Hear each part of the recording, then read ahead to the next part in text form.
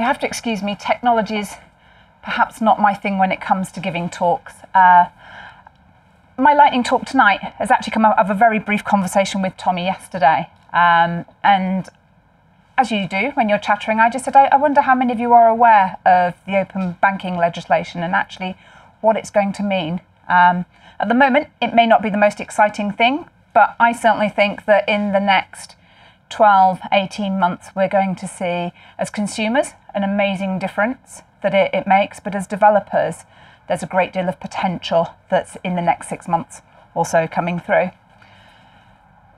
So, the dry bit to start off with. Um, it's a term that's been used to describe two pieces of legislation. The legislation has been passed. Us going through Brexit does not make any difference to that legislation. So you've got Competition and Market Authority legislation. You're probably most familiar with that um, in terms of all the things like your um, utility supply companies. You know that you can just switch your utilities over very quickly.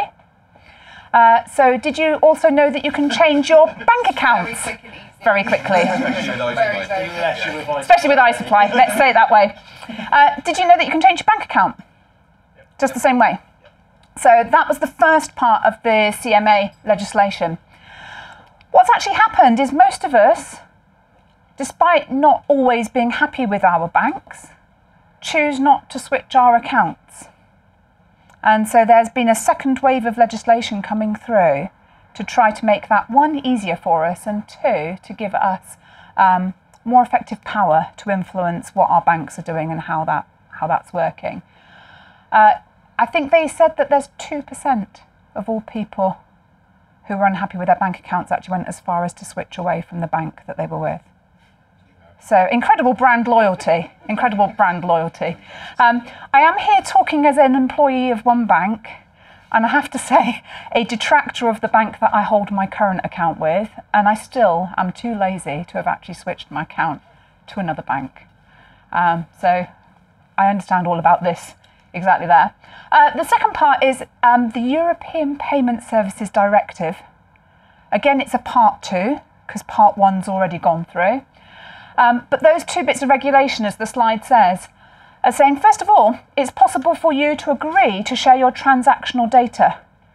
Now, there'll be lots of people in the room who are sharing their transactional data without necessarily having realised that they've agreed to do that. We all know that Tesco tracks us around if we've got a club card.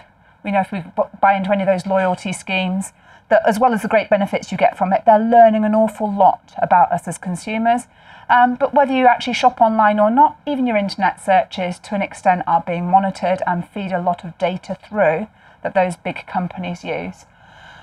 The benefit to you of choosing to share your, your transactional data is actually it gives um, smaller businesses that opportunity to bargain on your behalf and get you a better deal for the things that you're looking for. So you will find situations where instead of saying, No, I really hate people sharing my data like that, you're actually going to want people to do that to get you a better price. Massive one. Um, can I just ask, is it how many people in this room uh, run a business that involves you having a, a banking machine, a PDQ, or something like that? You and me. Yeah. I've got mine in the office here. Okay, we take probably between six and ten transactions a month on our PDQ, not high volume business as you can imagine. We pay Barclaycard £35 a month. It's not a good deal for us. So if instead I could persuade you all to just use Pingit or another third party payment that just went zapped straight into our business account, it would be much better for us. We wouldn't be paying so many fees. And the legislation is going to mean that you can actually initiate payments directly from your, your account without having to pay those fees to PDQ, merchant services providers, and other things like that. So it won't just be your PDQ machines that that it affects. You'll all be aware that you're paying tra- uh, transactional charges on your business banking accounts and things like that. It will change. And then finally, um, all financial organisations have got to make public and openly share their products. So at the moment, all banks, or all established banks will have special rates for special favoured customers. And whilst we might not all be able to access those special rates, we will at least know that they're there. Maybe giving us something to aspire to. I live in hope. But what it's going to do is put competition into your financial market in the way that it's been in already through our utility supplies, um, through the housing market, lots of other places. And it's going to stop us having to pay over the odds for services that actually aren't always high quality. So it's a, an exciting thing. So, uh, a couple of little quotes that people have come through. It's a massive change. As somebody that's working in, in a, a bank, we know that it could almost mean the end to banking as we know it at the moment. But that's exciting. Believe me, it's exciting. That's why I get to play with 3D printers. Uh, but the, the, key changes, the, the four that are listed there market efficiency, integration, protecting all of us as consumers, um, giving us that competition choice, and also putting that emphasis on security. So you're probably aware that your bank, like Barclays, is very busy telling you to be vigilant, fraud aware, cyber safe. It's a bunch of developers. You actually know all the traps that people could be falling into. So I'm sure I'm probably speaking to the converted in this room. But looking at that. So, yes, I'm here. I have a Barclays hat amongst the others that I wear, but I thought, well, I'll, I'll go out to one of the well known consultative groups who are looking at the future of fintech and how that affects the consumer market. And they're advising banks, especially the established banks now, to look at the market disruptors. And you'll be aware of places like Monzo Bank, things like that. And to actually go out there and try to emulate what they're doing, learn from them, and then as a large organisation, do it even better. So it's no good simply doing the bare minimum that the legislation asks you to do. Go out there, do something innovative. Look at understanding the um, digital part of what you're doing.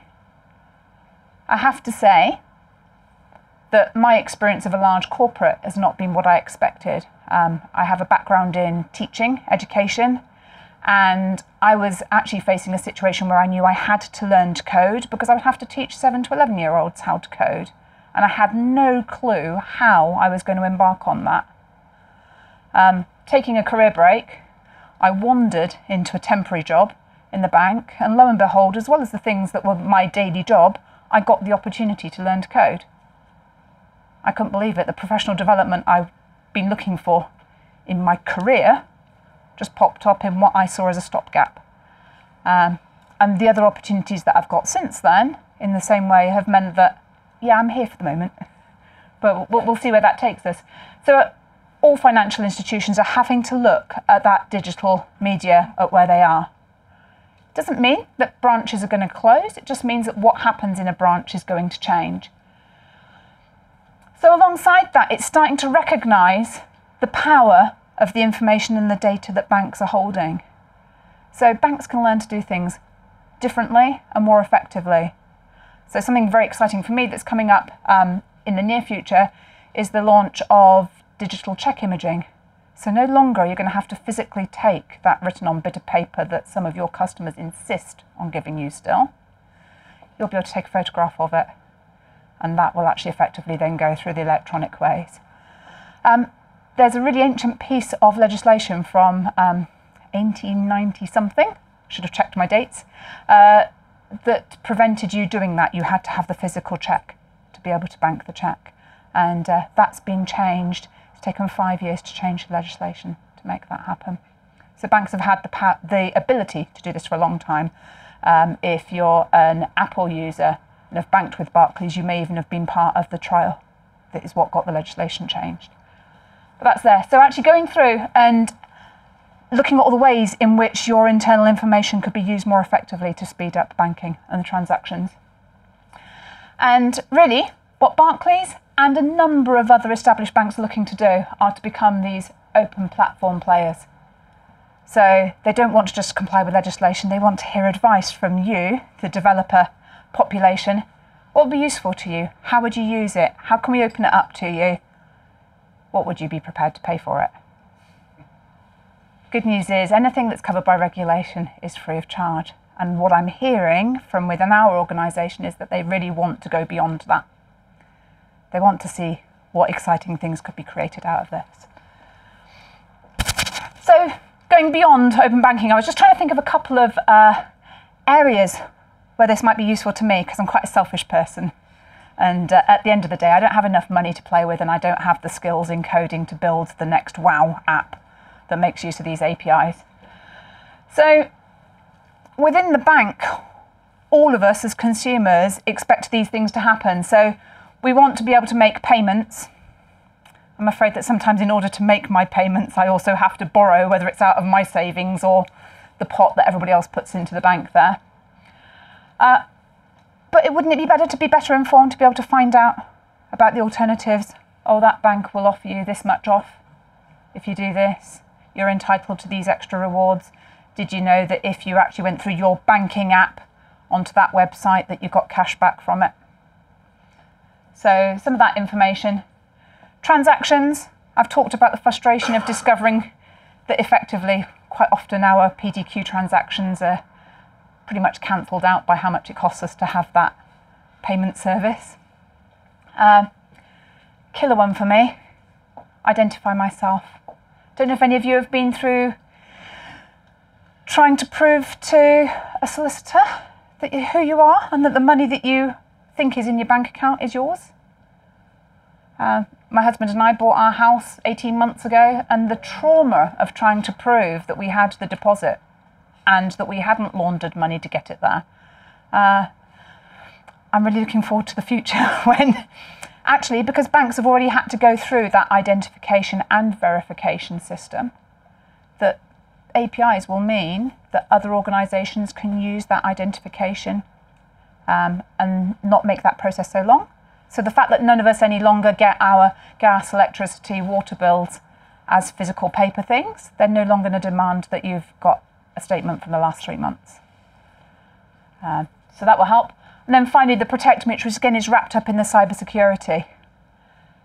Generally, banks are very safe in terms of client data and information around there. So they're not a bad place to store other information within the, the cloud services that they provide and things like that. So those are going to start to go out there and make that possible.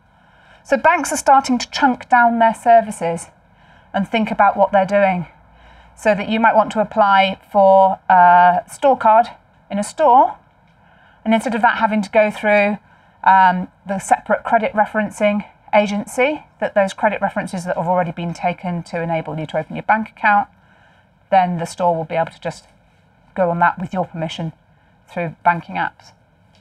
So that's one possibility. One of the things I was hoping to just open up for you was to make you aware that you can already start to see what Barclays and other banks are doing with all of this. So I can name five or six different banks that already have a site similar to the one that I've referenced up here. So this is the Barclays developer site. It is really just the front door, a portal at the moment, and it doesn't contain anything terribly exciting. So the store at the moment contains those things that are regulatory right now. So they'll tell you where branches are. To be honest, you could find that out quite easily anyway, and every bank has a website that tells you where their branches are. Uh, you can find out where ATMs are. Again, not that useful, but it's there, and it's information that I would have said was out in the public domain. It's actually just been made available through an API now there.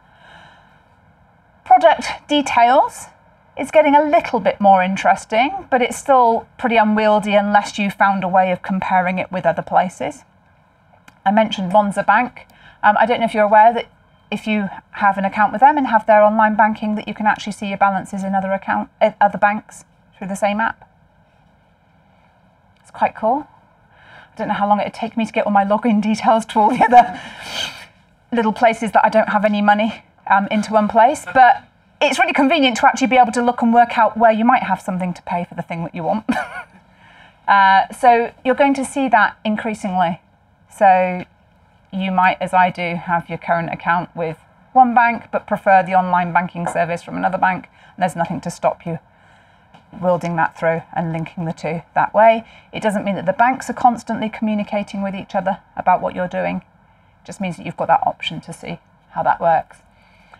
Uh, coming up, um, there will be more mortgage product details, um, actually being able to get your um, approval in principle, which again, if anybody else has gone through the house buying thing recently, it's still a bit of a trauma, you're actually going to be able to do that with a couple of clicks.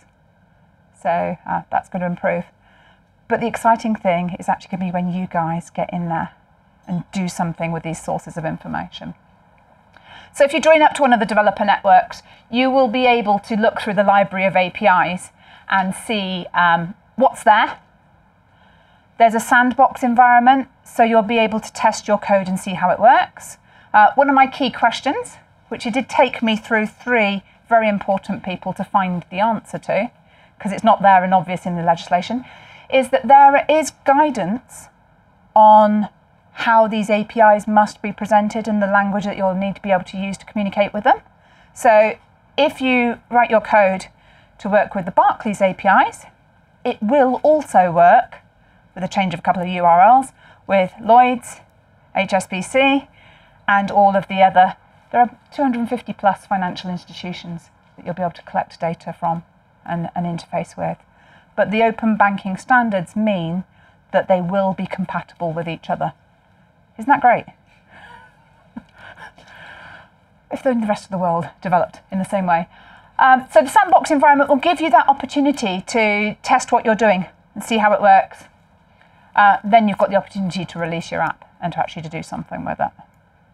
Um, as I've said, at the moment, those available are not that exciting. What we do know from within the, the bank, and uh, this was confirmed for us at a central meeting on, on Tuesday, is that there is an incredible wealth of information there. There's also, through the, the wrapping of an API, uh, a great possibility in getting that anonymized data, so it's not linked to a particular client, that will help you with actually looking at trends and, and working out spending data and actually help you to look at other products that are connected to it there. So just a couple of questions for you to think about before I open up if anybody does have questions. Uh, I don't know. I'm not highly excited about the APIs that are there just now. But actually, I'm really lucky that we have that direct voice. Um, we've been challenged to come out and talk to our developer communities and say, what would you like to see? Is there anything there that excites you? Is there anything that you're thinking now? Well, if that's all stuff that's going to have to be made available, it would be really useful if this was the first thing that was available because I've got this great plan or idea. Um, in a way, I hope I've partly answered the last question. You know, how it's going to affect you if some banks appear more open than others. But can I just give you a couple of minutes to talk amongst yourselves, see if anybody's got anything there, and then I'll open it up for questions almost heated discussion um, happening here where we were just talking around credit agencies and the impact on them, first of all. Are we going to see credit agencies survive? How that's going to work? They're going to come under the, the legislation that's there. So the first thing is that they've got to open up what they're doing and find systems of sharing that effectively. For us as consumers, it's going to make it much easier for us to challenge credit ratings that we think are unfair or inaccurate. Um, in terms of it meaning, meaning that, that Tommy can just look up my credit rating and make a decision based on what's there, without me giving permission for that, he's still not going to be able to do that. And secondly, if he comes and feeds back to me that, no, I'm not allowed to buy that thing because I don't have the funds or the equity to do that, then I'm still in a position where I can actually challenge that and look at the market to offer me alternatives to do that. So we should see that coming through, we hope. Did anybody else have any questions, thoughts, comments? How far into this do you have to go before you start having to have some sort of regulatory compliance? Which part of it? Well, I don't know really. It all depends what sort of APIs you're exposing. you know, I mean, if you're sort of, if you come up with some app that's going to take money from people and, and well transfer money to the bank. So, so the banks, the financial institutions have still got a responsibility for protecting you as the account holder. So, although third parties will be able to initiate transactions, you as the consumer still have control over that. It just means that those businesses at the moment that are making large amounts of money out of those transactions will not be able to do that anymore. So I was assured yesterday that it will be as secure as, if not more so, than PayPal. And you think about where PayPal is now, they don't do any marketing for themselves anymore. It's a payment system that's become accepted, trusted, and actually to the point where people starting up new online shops, other systems and services that you want payment for, like to offer it as a third party service to protect the, the consumer. So that level of um, protection should be built in there. Um, I mentioned before, you know, banks have had to build up the trust of their consumers in terms of ensuring that there are suitable levels of authentication and encryption on data. And the APIs are not just releasing great databases of information out to everybody. So uh, we are told in as much as we can trust anybody, we will still be able to trust what's there. Uh, the open banking legislation doesn't mean that people will be able to access your personal transactions without your permission. So the, the idea is putting the power back into the hands of the individual consumer. I think it has cooled down a bit, hasn't it? Have you guys switched off the chill at the evac? You're still warm? I'll switch it off at the front then because the people at the front are starting to look a little bit cold. Um, are there any other thoughts, questions, comments? Yeah. The UK is pretty unique in the fact that we hate paying for banking. Um, say I buy an app that holds my balance, sees that I'm about to go overdrawn, and then move money to my account, which completely destroys your profit margin on my overdraft. How is it, how are we going to pay for banking? You know, we, we've already decided to pay like casino banking and you guys gambling in the stock market. So how would you actually fund yourself? Fortunately, it's not for me individually to work out the answer to that question, but, but really the, the challenge is that there. Um, I can tell you that Barclays will not be the only bank that's really busy um, consulting firms like Accenture that have had their finger on the pulse and are looking at what's there. There are all sorts of challenger banks already popping up, other fintech apps. Um, I'm actually delighted to be working in a, a workspace where Barclays itself has a, a big um, fintech accelerator um, in London at Shoreditch, uh, which is where Harry and I were on Tuesday, which is actually encouraging startups to disrupt the, the bank, banking world. Um, and it's being aware that what's happened for the last 300, 400 years is not the way we're going to be banking in 20 years' time. So banks are going to have to move with the times or they're going to die. So that's the challenge, and uh, I think it's quite exciting. But as I said, I, am not one of those big directors who's there earning the, the, the large salaries for having to work out how to do that. I'm here thinking, yeah, that's quite exciting. But yeah, eventually we shouldn't be having to pay for our banking, or we will have choice in what sort of banking we're paying for.